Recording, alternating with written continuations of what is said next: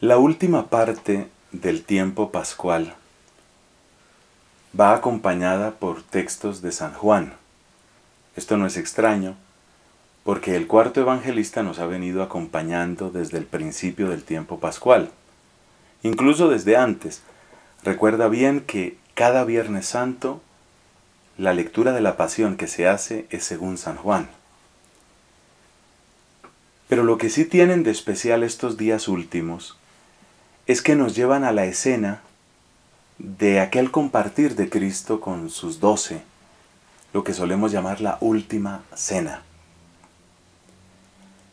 Y ese es el tiempo de las confidencias, es el tiempo de los secretos, es el tiempo de la revelación de los grandes misterios.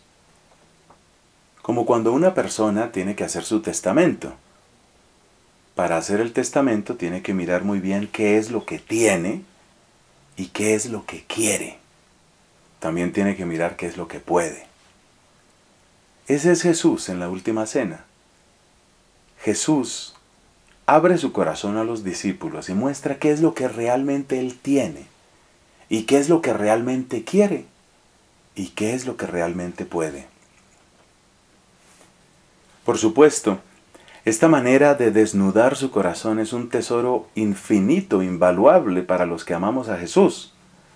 Pero además, es un itinerario que nos va llevando hacia la realidad del Espíritu Santo, el Espíritu Paráclito.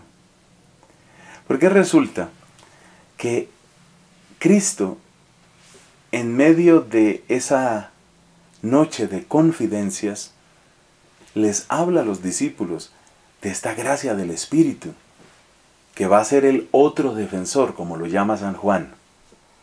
O sea que el primer defensor es Cristo mismo. Pero como Él tiene que irse al Padre, entonces nos deja otro defensor, otro paráclito. Es lo que quiere decir también la palabra paráclito. Y ese otro paráclito es el Espíritu Santo.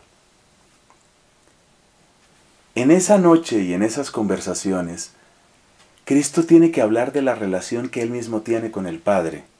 Y entre otras frases dice, las palabras que ustedes están oyendo no vienen de mí. Algunas traducciones dicen, no las digo por mi cuenta. Otros dicen, estas palabras no son mías pero me parece que se responde mejor al texto original griego diciendo, estas palabras no vienen de mí. Y hablando de esa manera, no está diciendo Cristo simplemente, yo no tomo responsabilidad de estas palabras, que es lo que no me gusta de la traducción, no las digo por mi cuenta. Es que no lo digo por mi cuenta, es lo que puede decir un mensajero, mire, a mí me mandaron decir esto, yo simplemente digo lo que a mí me mandaron decir. Eso no es lo que quiere Cristo cuando habla de esta manera a sus apóstoles. Cuando Él dice, no vienen de mí, y sin embargo Él las está pronunciando, lo que está diciendo es, entonces, ¿de quién vienen? Esto está en el versículo décimo de ese capítulo 14, tan denso, tan hermoso que tenemos, en el que estamos reflexionando estos días. Las palabras no vienen de mí significa Entiendan que estas palabras vienen desde el corazón del Padre. Y esto va en la misma línea de otras expresiones que ha utilizado el Señor en esos diálogos de la última cena, contándole a la gente cómo, a la gente, contándole a sus discípulos, cómo Él revela al Padre, el que me ve a mí ha visto al Padre. Las palabras no vienen de mí, estas palabras vienen desde Papá Dios. Estas palabras revelan a Papá Dios. Y en el mismo sentido dice que el Padre realiza sus obras, indicando de ese modo que la fuente última de todo el ser de Cristo es el Padre y que todo lo que Él hace es revelador del Padre.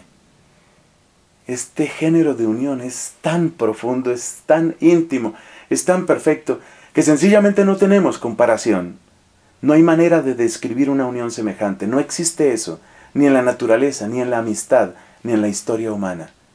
Pero el evangelista Juan recibió del Espíritu potestad para regalarnos algunas indicaciones, para que sepamos en dónde reside este gran misterio, y para que entendamos el privilegio que recibimos al poder aceptar a Cristo y en Él conocer al Padre.